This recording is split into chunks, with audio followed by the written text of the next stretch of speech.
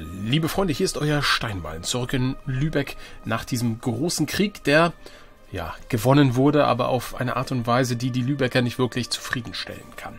Nun gut, es ist wie es ist. Mal sehen, wir haben jetzt zehn Jahre Frieden bis 87 mit den Dänen. Dann können wir mal gucken, ob wir vielleicht die gleiche Aktion auf andere Art und Weise nochmal machen oder ob wir sagen, nee, das hat sich nicht gelohnt und an der Gesamtsituation hat sich auch nicht viel verbessert. Das lassen wir lieber sein. So, wir haben zehn Jahre Zeit, jetzt natürlich unsere Routenreserve wieder aufzubauen. Ich glaube, die Holländer haben mindestens eine doppelt so große. Ähm, und vielleicht uns nach ein paar anderen Zielen umzusehen. Es gibt nämlich eine interessante Sache, die wir bis dahin vielleicht erledigen können. Memel. Memel ähm, hat sich ja hier erweitert, dadurch sind sie aus der Liga ausgeschieden. Inzwischen ist Memel sogar selbst Anführer einer Liga mit Mantua und Salzburg drin. Ja, und Memel hat gerade äh, akute Probleme, das ist vielleicht nicht so sehr der Punkt, aber Memel hat jetzt keine starken Bündnispartner mehr. Ähm, nur Liefland. Liefland, glaube ich, ist machbar für uns mit drei Provinzen. Ja, so dass es durchaus möglich ist, mit einem Krieg ohne Kriegsgrund mal wieder äh, Memel anzugreifen, Goldingen zu verlangen, Goldingen dann abzugeben, zum Beispiel an den Livonischen Orden, und dann mit Memel die Beziehungen wieder so weit aufzubauen, dass sie mit uns zurück in die Liga gehen. Das wäre schon ganz gut, weil Handelseinfluss 38% ist schon eine Hausnummer. Also das ist so eine kleine Nebenoption jetzt. Okay. Ähm, ansonsten habe ich gesehen, wir können aber andere noch in die Liga bringen und da ist, erscheint mir jetzt Würzburg am interessantesten. Die sind auch in dieser, in diesem Handelsbereich hier, Rheinland und da wird noch sehr viel einbehalten. Deswegen können wir, glaube ich, Würzburg ganz gut gebrauchen. Die haben immerhin 5,8. Immerhin und die wollen in die Liga kommen. Und deswegen werden wir das bestätigen. Da waren jetzt noch ein paar andere dabei. Ulm zum Beispiel. Ich weiß nicht, wir werden mal mit Ulm. Na, wir müssen, glaube ich, jetzt geht es nicht mehr, weil sie zu groß ist, aber es ist knapp. Ich glaube, wir werden mal mit Ulm die Beziehung verbessern und dann ist Ulm vielleicht auch noch vorübergehend mit dabei. So, was ist jetzt mit unseren Soldaten? Die brauchen offenbar eine Zeit. Da müssen wir jetzt auch gut aufpassen. Wir haben ja fast nur Söldner. Die dürfen wir nicht alle entlassen, weil sonst ja wieder unsere Vasallen durchdrehen. Und wir müssen uns vom Krieg erholen. Das ist auch wichtig. Wir brauchen weniger als ein Kriegsmüdigkeit. Das ist ein gutes Ziel. Und wir bekommen, naja, Regeneration, Mannstärke. Okay, das können wir gut gebrauchen. 10% jetzt in dieser Situation. Dann jetzt wieder zur Flotte. Wir lagern unsere Großschiffe wieder aus. Äh, beziehungsweise, was heißt auslagern? Stilllegen. Die werden auch stillgelegt. Und die Handelsflotte bekommt einen neuen Admiral, den wir rekrutieren. Und es ist Siegfried Amsink. Wieder ein Amsink. Oh, ein sehr guter Fernkämpfer. Auch ein ganz anständiger Manöverwert. Der ist nicht schlecht. Der ist nicht schlecht. Mission auswählen, Handelsschutz, Handelsschutz äh, Lübeck. Okay, das ist auch soweit. Dann würde ich sagen, lassen wir mal weiterlaufen. Was haben wir hier? Kriegsgrund, Rivale. Rivale erniedrigen haben wir verloren. Warum das denn? Dänemark hat Staatsehe mit Böhmen gebrochen. Wir sind kein Rivale mehr. Sie sind... Hm. Doch, sind wir doch. Na gut, vielleicht wegen des Friedensvertrags, ich weiß es nicht genau. So, da kommen sie, unsere Soldaten. Und jetzt müssen wir mal wirklich gucken, wie wir das machen. Ich werde mal erstmal nur vorsichtig. Wie hoch ist denn jetzt unser Freiheitsbestreben? Was heißt unser? 27, 28, das ist entzückend. Das kommt, weil die Armeen des Gegen äh, der Vasallen ziemlich erbärmlich sind. Aber die werden natürlich jetzt aufbauen. Wir werden mal erstmal zwei, das war falsch, zwei Söldner entlassen und das jetzt gut beobachten, wie sich jetzt das weiterentwickelt. 27, 29. Ah, die bauen aber schnell auf. Wir können nicht so schnell aufbauen. Schwierig. Ansonsten, das, was wir dabei haben, ist auf volle Socke. Insofern können wir den Unterhalt wieder runterziehen. Der übrigens keine Auswirkung hat auf das Freiheitsbestreben. Haben wir eigentlich alle Berater mit an Bord? Ja, wir haben so ein hohes Plus. Das ist ja enorm. Plus 18. Ist ja unglaublich. Na gut. Ich habe nichts dagegen. Ähm, ich gucke mal.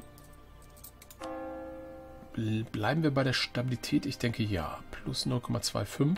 Beziehungsweise wir werden uns jetzt auf ein, aufs Maximum erstmal bringen. Ich will das als kleine Notreserve immer in der Hinterhand haben. Ähm, und dann können wir es ja anschalten. Dann sind wir flexibel. So, die Spanier erklären irgendwo über See den Krieg. Und wir sollten vielleicht auch mal weiter noch Beziehungen verbessern. Bloß mit wem? Das gucken wir uns jetzt direkt mal an. Mit Bremen zum Beispiel. Okay. Und ja, unbedingt vielleicht gegen die Dänen.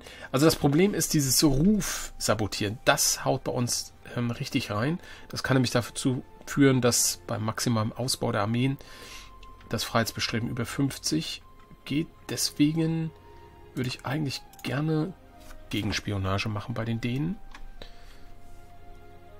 Das müssen wir irgendwie verhindern. Und ich glaube, die Dänen sind diejenigen, die vor allem hier gegen uns was unternehmen.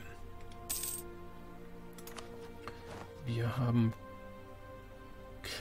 Das, was wirklich blöd ist, ist, dass Köln uns jetzt wieder rivalisiert hat. Das ist dieser langfristige Plan. Es wäre viel, viel schöner, wenn wir im nächsten Krieg zum Beispiel mit Köln an der Seite kämpfen könnten. Aber das ist wohl nicht drin.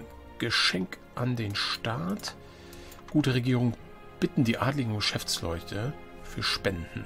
So, entweder Schatzkammer oder Prestige. Jetzt ist die Frage, unser Mann. Was ist er für einer? Er ist ein Gelehrter. Tja, hm, was macht ein Gelehrter? Setzt er das...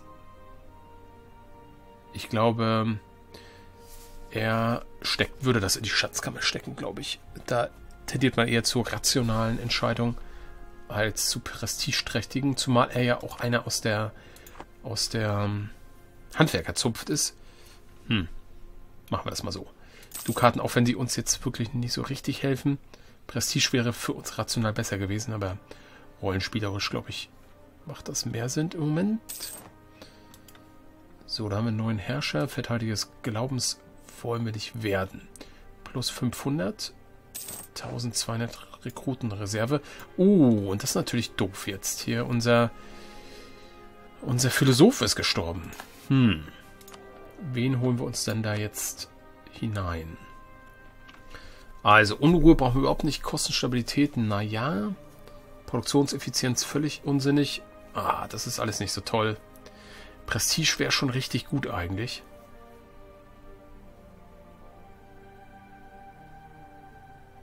Wie ist das, wenn ich jetzt einen Einser rausschmeiße, kommt dann auch immer ein Einser wieder?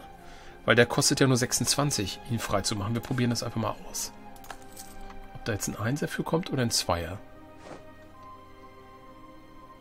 Okay. Die Ostfriesen haben wir entdeckt. Die uns was wollen. So. Ach, da kommt gar keiner? Doch, da kommt ein Einser. Aha, Einser wird immer gegen Einser ausgetauscht. Das ist aber jemand mit Prestige. Hm. Wollen wir dann die 103 ausgeben, um hier auch mal einen neuen zu bekommen? Wobei, wenn, dann wäre der ja noch der sinnvollste hier. Dann geben wir die aus. Also, ich würde... Ah, vielleicht haben wir Glück, ne? Vielleicht... Ich bräuchte einen Zweier, der Prestige bringt. Das wäre gut. Ein Künstler. Ne, ein Philosoph war es ja. Vielleicht mal Daumen drücken. Was haben wir hier? Eifer ist jetzt auf Maximum. Ja, dann gehen wir jetzt auf na, solange das Freiheitsbestreben nur so gering ist, glaube ich, können wir den Eifer ähm, können wir den Eifer auch auf Handel setzen. Wir müssen nur dann irgendwie umdisponieren, wenn es dann soweit ist. So, jetzt schauen wir mal,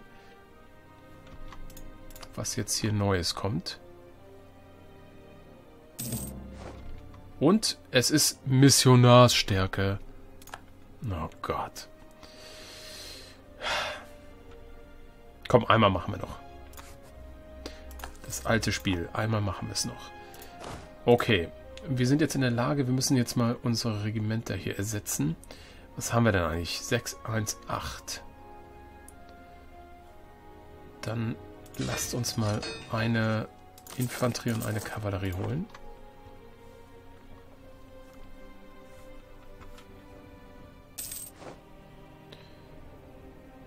Level 1 ist jetzt gekommen. Okay, also das wird überhaupt nichts. Das war totaler Mist, was wir jetzt hier gemacht haben. Mal wieder gehofft und gebankt und nichts ist daraus geworden. Dann nehmen wir eben Ernst Olbers. Was hilft es? Dann muss es eben sein. Wie viel verdienen wir? Plus 21. Wahnsinn. Kontrollverlust. Mit unseren neuen Gesetzen, die Bauern weniger eng an ihr Land zu binden, haben diese auch komische neue Ideen über den Platz im großen Zusammenhang bekommen. Wir verlieren Stabilität. Na toll. Na toll. Wir brauchen aber die Stabilität, sonst sinkt unser Eifer wieder. Also müssen wir das jetzt ausgeben. Okay, und Kriegsmüdigkeit ist ja erbärmlich hoch. Wie ist denn eigentlich der Stand hier bei der Technologien? Da sind wir noch bei 90%. Ach komm, dann können wir hier ein bisschen was ausgeben.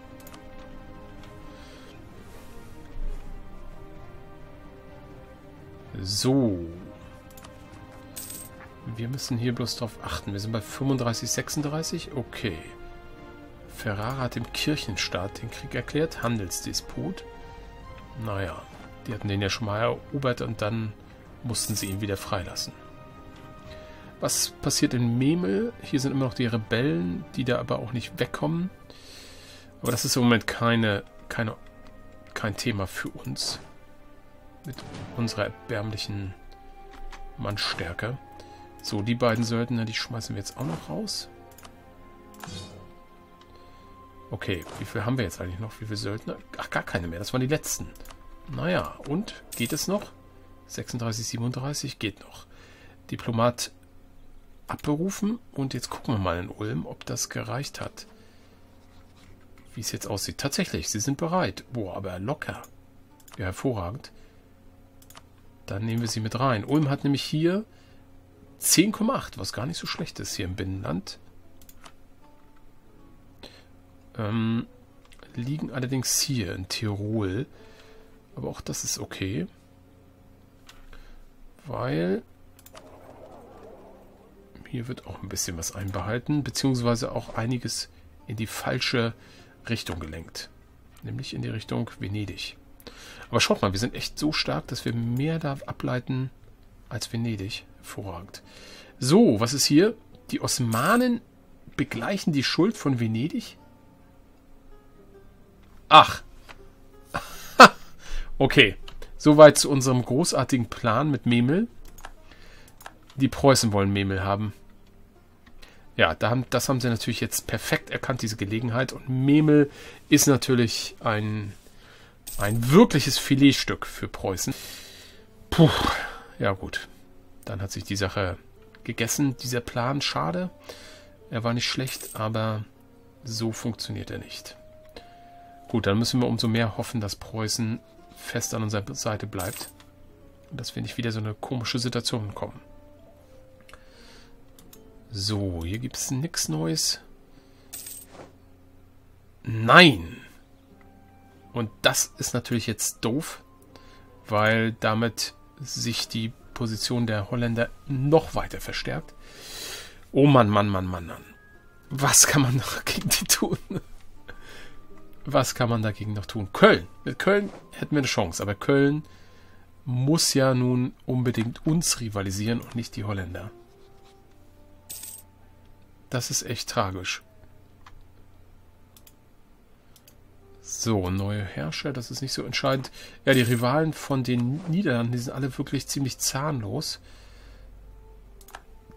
Da haben wir die Österreicher, die keine Chance haben gegen dieses Frankreich-Osman-Bündnis. Wir haben die Venezianer und wir sind's. Aber was soll Venedig jetzt gegen die Niederlande ausrichten? Eieieiei, das ist alles nix. Das ist alles nix. So. Wir können mal wieder zwei neue Regimenter ausheben. Ich hoffe, das geht hier alles noch. 39, 41. Ja, es geht noch. Verteidiger des Glaubens wollen wir nicht werden. Eifer ist wieder auf Maximum. Prima. Obwohl wir Handel aktiviert haben, das ist gut. Und jetzt stellt sich die Frage, wird der gute Mann wiedergewählt? Die Frage wollen wir beantworten. Er hat eine 50-50 Chance und eins habe ich gewürfelt. Er bleibt am Zuge. Was schlecht ist natürlich für die republikanische Tradition. Aber wir bekommen ein paar Punkte und er wird besser natürlich. Er wird fähiger, was ja auch nicht ganz unwichtig ist. So, Frieden hier irgendwo in der neuen Welt. Zwei Jahre ist, sind schon vergangen seit dem Friedensschluss. Ich glaube ja. Zwei Jahre. Wir verdienen unfassbar viel. 24. Vielleicht sollten wir uns doch nochmal umschauen, ob wir vielleicht irgendwo noch ein Plus Dreier kriegen. Hier. Hier würden wir einen Dreier kriegen. Einheitenlimit. Das ist aber auch schon wichtig. Unterhalt. Gut, das könnte sich fast. Könnte fast gleich sein. Ob nun. Pff, können wir uns das leisten? 7,94 und der will 17. 10 mehr. In der jetzigen Situation können wir uns das locker leisten. Hier haben wir noch den Dreier. Ich glaube, wir machen das. Die Basiskosten sind hoch. Aber wir bekommen halt einen Punkt mehr, was schon wichtig ist für uns. Konrad Bödför. Okay. Der erste richtig grandiose Berater, den sich Lübeck leisten kann. So viel Geld wird verdient. Wahnsinn. So, die nächsten 1000 Mannstärke sind da. Wir können auf wieder auf 21.000, glaube ich, müssen wir gehen. Wobei, das ist jetzt halt, ne? Mit dem Truppenlimit. Naja, mal sehen. Hofmaler verfügbar. Wir halten schon seit einiger Zeit Ausschau nach Malern oder Künstlern. Genau. Wegen Prestige, die die Glorie unseres unseres Bürgermeisters repräsentativ bildlich einfangen können. Zufälligerweise hat uns gerade heute Morgen ein Maler seine Dienste angeboten. Ja, ich denke, auch wenn er jetzt nicht ausdrücklich eitel ist, aber auch in den Hansestädten wurde Kultur gepflegt und gefördert, deswegen einstellen. Bringt Stabilität sogar, wow. Und Prestige und kostet uns ein bisschen was. Aber das ist natürlich der Hammer. Plus 3 Stabilität ist super. Fantastisch. Okay. Preußen belagert noch Memel. Aber das ist ja nur eine Frage der Zeit. So, Kirchenstaat muss zahlen. Ansonsten nichts Besonderes hier. So, 7000. Wir haben wieder ein paar Leute. Also wird rekrutiert. Konflikte beeinflussen Regierungen. Eine Republik ist dann erfolgreich, wenn die wichtigsten Familien bereit sind, die Interessen der Republik zu ihren eigenen zu machen. Das scheint aber nicht der Fall zu sein. Wir verlieren administrative Macht. Das hält sich ja noch im Grenzen. Das hält sich wahrlich noch in Grenzen. Plus 70, ja. Das sollten wir vielleicht mal langsam erreichen, damit wir eine neue Ideengruppe wählen können. Liefland. Frieden mit Preußen. Das ist, glaube ich, ein Separatfrieden. Liefland wird an den Livonischen Orden abgetreten. Genau, die haben an der Seite von Preußen gekämpft. Verträge mit Polen aufkündigen und Geld bezahlen. Okay, das heißt, der Livonische Orden wird gestärkt, weil er auch mit Preußen verbündet ist. Jetzt ist aber noch Memel dran. Bin gespannt, ob da was übrig bleibt ob sie, oder, oder ob sie beide Provinzen nehmen. Spanien, Russland als Rivalen. Liefland. Ja, Venedigs Schulden werden wir bezahlt. Liefland hat Dorpat. Ach so, die haben ihre Hauptstadt verloren, ja, alles klar.